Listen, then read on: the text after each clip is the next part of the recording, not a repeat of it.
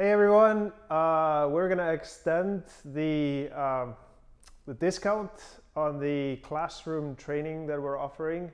So please check it out. If you like uh, getting into a classroom setting, learning about Business Central, going through all the things that we're going through in the YouTube, uh, but it's gonna be more back and forth. So interested in that, please go on there, check it out, sign up, and, uh, and enjoy learning about Business Central. So one more week, uh, it's the discount is valid. So anyways, on that, back to costing. Yay. I got a comment, so I'm, I'm, really liking that people are getting into this costing. I thought I had lost everyone by this time. You know, we're up to 10 videos on the same topic, so I, I thought we didn't have that many left uh, watching. But there are really hardcore costing people out there that are following and commenting. So thanks for that. And one comment came from Stefan, uh, and we're going to basically do a video about what he talked about in, the comment. So there's uh, two things that are important. First of all, uh, in the FIFO, when we're posting in FIFO, we basically have the coffee mug, uh, the FIFO coffee mug, um, and and we're posting entries. So these are the item ledger entries on there. And then each entry here has entries, uh, and those are called uh, value entries.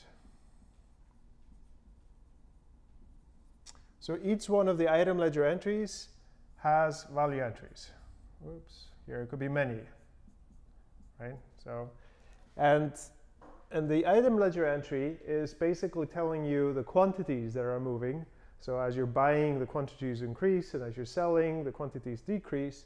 But the value entries are telling you the cost of those quantities. So for example, if you have a purchase order here, so this is a purchase for 50, uh, the direct cost could have been like $1,000. And then you might have had freight come in, and you wanted to add the freight through item charge onto this transaction, which could have been $100. So $100 comes in the value entry, and now the total cost for this purchase here is 1100 This could have happened at a different date. So the value entries are very important in describing the cost of the actual transaction. Now, when we do FIFO, and uh, we're just doing basic FIFO, and let me just clean this out. There is a quirky thing that happens with Business Central, very quirky. Uh, and basically what, what goes on is if you have a purchase order here for, um, let's say it's uh, 100 and, and, uh, and basically you, you post, post it at a 1,000, right? And then you have another purchase order, and this is, uh, this is our example for a 100, and you post it at 1,100, right? And total. So the unit cost here is 10, and the unit cost is here is 10.5. Whoops. Uh, I'm sorry, 11. Silly me. But the average is 10.5, right? So the average here is 10.5. So when we post a sale, right here for 50, and, and, this is FIFO, remember FIFO, first in, first out. It should take the cost from here, so it should be $500. And it does do that because it takes it from the first one. But what happens in the value entries is not 500. What happens in the value entries is it actually posts the average first which I believe is 525, and then an adjustment of negative 25, bringing it down to 500. So the sum of these is 500. So it does, this is the sort of the direct cost and then adjustment. And it's funky. It's posting average and then fixing it to become FIFO. It's just the way it is. Um, so that is one thing we're going to show you in the system.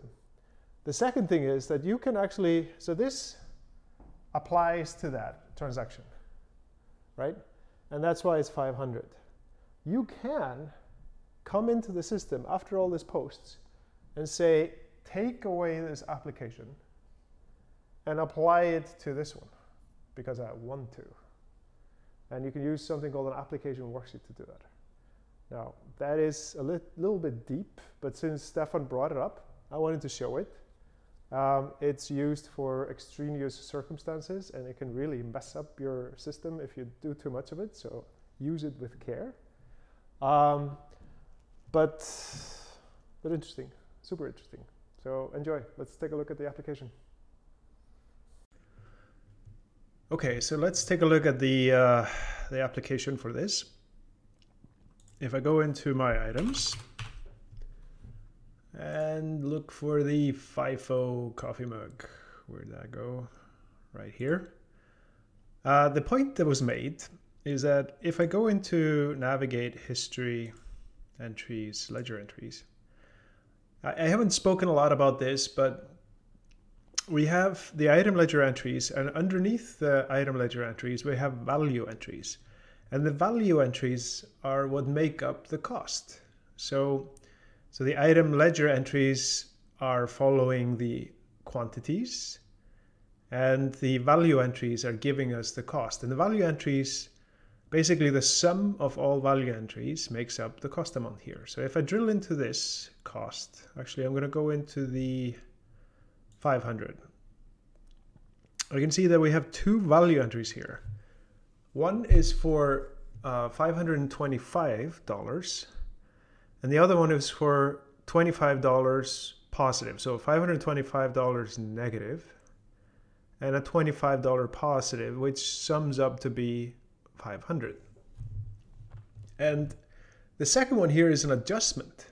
So it actually is adjusting the cost. It posts um, the 525 and since that doesn't really apply to FIFO, because FIFO would be 500, because we are taking out of um, out of this one here, which is 1,000, we, uh, we're taking 50, so it should be 500.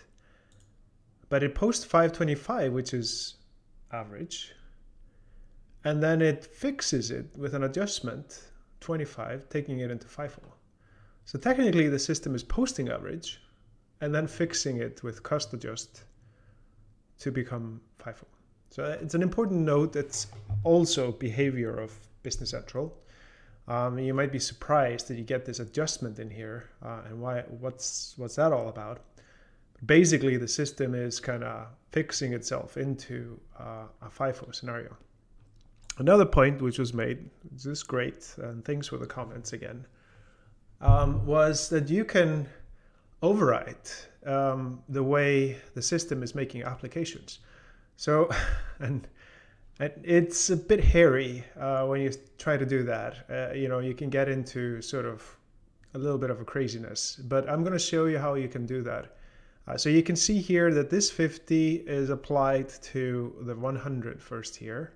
And then this 100 right, right here is taking the rest of the 100 and then 50 here. So you're sitting with 50.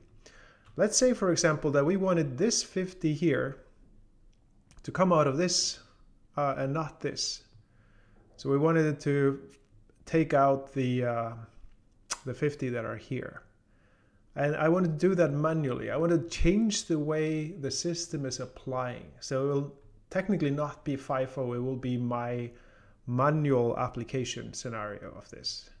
And this is getting a little bit deep, but um, let's, let's take a look at that. So we can go into something called application worksheet. Um, the application worksheet has to do with inventory, and it's uh, it's uh, a pretty neat little thing. So if I go into the item here, filter on my FIFO mug, let me see. So where is that? Right here. And then I get all of the entries for um, that, just like we saw before.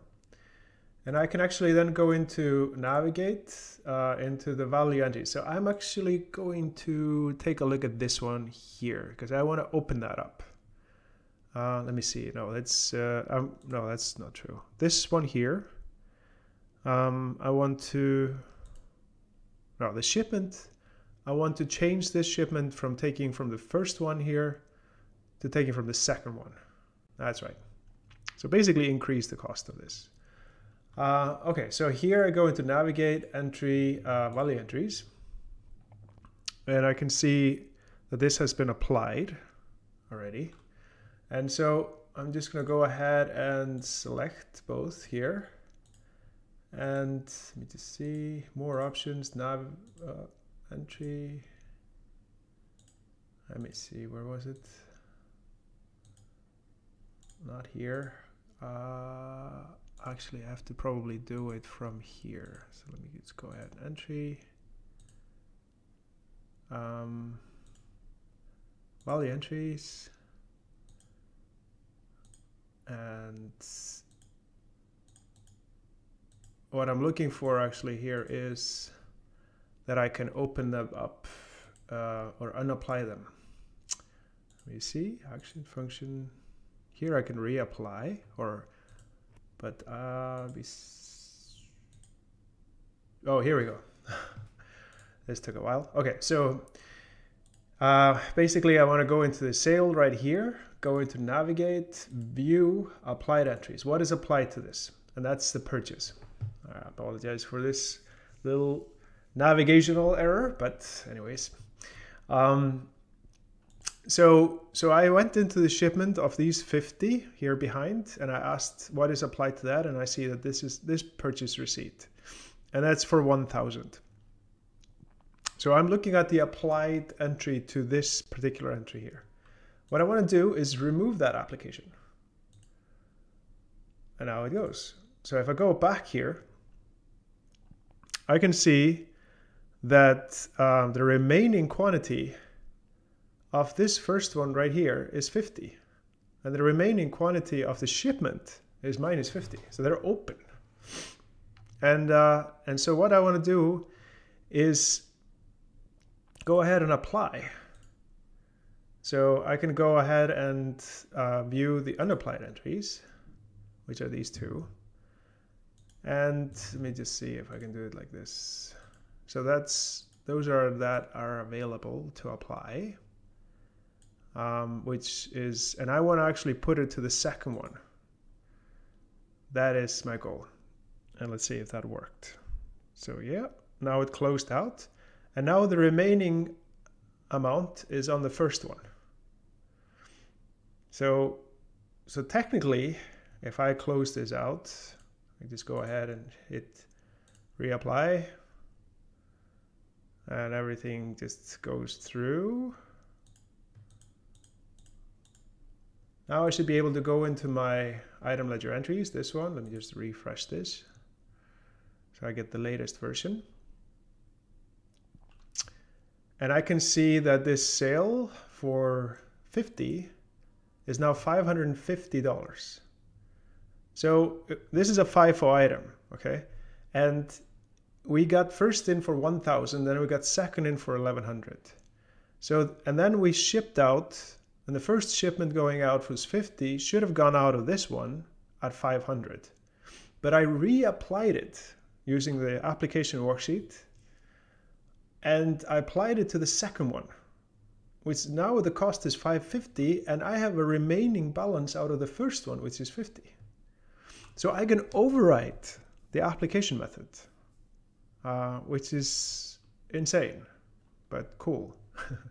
so if I click in here, I probably get like a bunch of entries. Yep. So in the beginning, uh, it booked it on average and fixed itself, like we talked about before. Then I reapplied it to the first one, so there was another adjustment to fix it down to 500. And that's this is really cool because this shows you sort of the history of the applications of that item. Um, but I don't recommend going into craziness with items like this. Uh, this gets a bit hairy uh, when you when you work with it too much. But like if you have a critical thing that happens, like you post something at a really wrong cost and you have to reverse it, you gotta reopen and do things like that, then it's helpful. Um, so I hope this was instructional. Until next time.